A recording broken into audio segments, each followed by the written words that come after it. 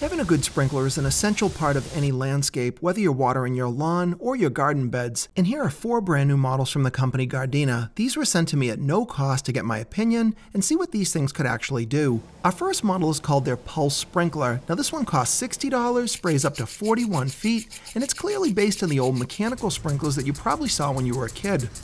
Now for the $60 price, you do get a 5-year warranty, and the build quality is surprisingly good. It's made of both aluminum and plastic. Once you put it in with your foot, all you need to do is adjust the arc. This model can spray water in a circular pattern between 20 and 360 degrees. Now you make those adjustments just by moving those two orange levers. It's also got a quick connect fitting on the side, so if you're already using Gardena fittings, this thing just snaps right onto your hose.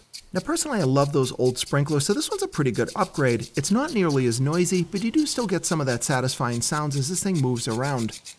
You can also reduce the flow of water by turning that orange dial. That lowers a hood that restricts it down to about 6 feet, so this model is pretty flexible if you're watering circular areas. You can connect more than one of these together. It's got a kind of flow through design. You just unscrew that cap and you can connect a hose and add another sprinkler. And while I love the build quality, this may not be the best sprinkler to purchase if you've got a rectangular or square yard. This is going to be useful if you want something you can just grab and go, because it is so simple to set up.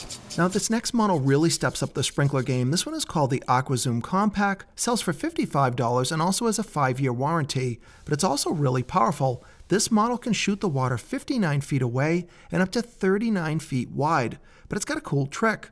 On the side of the sprinkler are these two orange switches. When you flip them, you can actually modify the pattern of the arc. This is really cool because you can do it independently. So if you're going to place this thing next to your house or a bed, you can be watering on a straight line on one side and expand your arc fully on the other. That means you don't have to run around trying to find the perfect spot for the sprinkler anymore and prevent wasting water. It's also pretty cool that this sprinkler is totally silent. Additionally, if you want to make adjustments, it's simple to do. It's got these two orange dials. This allows you to control the arc of how far the sprinkler will spray, but as many of you know, you usually get wet when you're making this adjustment. Except this model has what has to be the coolest feature of all. It's got a built-in valve. This allows you to turn the water off, but not completely. When you switch it to the off position, you can see it just puts out a tiny amount of water. You can now see exactly where the arc is going to go, but it's not blasting you. So now you keep it in the low position, set the arc exactly where you want, and now you can turn that valve back to full and walk away. And like the Pulse model, you can also connect up additional sprinklers. Now there's no magic here. If you don't have enough water pressure, you may only be able to run one. But I think most houses should be able to string at least two of these together and get a pretty decent amount of water output.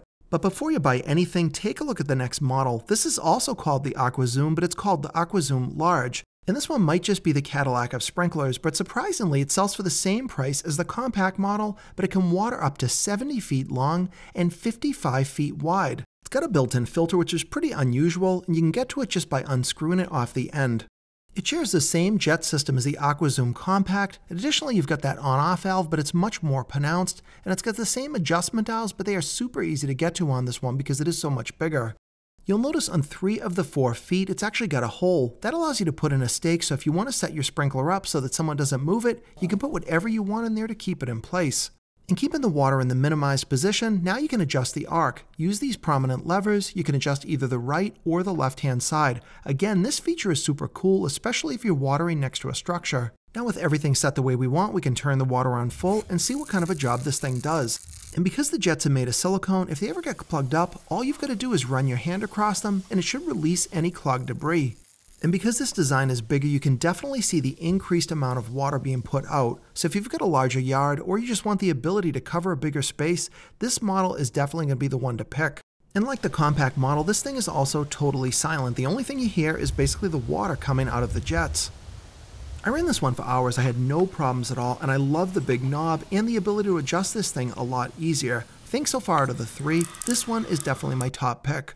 This final model is called the Oscillating AquaZoom Large. Now it's really confusing because all these names are so similar, but this is essentially their budget version. Water's up to 59 feet long and 52 feet across, which sounds really good. It also has a built-in filter and you've got the same adjustment dials to set the arc, but it's missing a number of features that I really liked. It doesn't have the on-off valve, so you are going to get wet if you have to make adjustments or try to hold the thing away from you. And the nozzles on this one are rigid plastic, they're not silicone, so if they get clogged you'll have to use something like a toothpick or another device to clean them out. You also lose the ability to adjust the shape of the arc like the previous model, so at the $48 price tag, I really wouldn't go for this one because it's just too close in price to spending just a few dollars more to get all those other cool features. Now Gardena makes a ton of sprinklers and none of them are inexpensive, but I think for the features you're getting and the quality, these things could definitely be worth your consideration. Let me know your thoughts in the comments below. Did you like any of these sprinklers? Do you have another brand that you use yourself? Or the thoughts on what I could do to improve this video in the future?